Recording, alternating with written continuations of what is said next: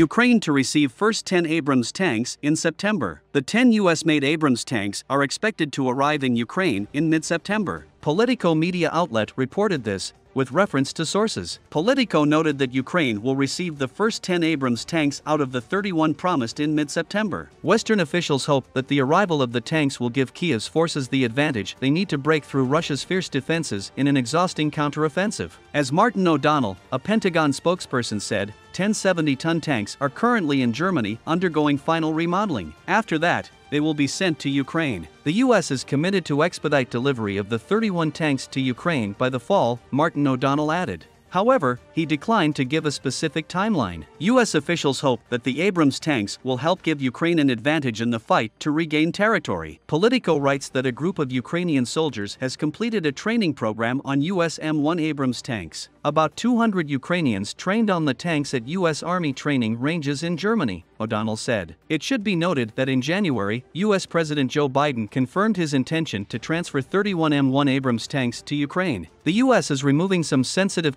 technologies from the Abrams tanks it plans to send to Ukraine, as it fears they could fall into the hands of the Russian army on the battlefield. Ukraine will receive an older modification M1A1 tanks, not the A2S.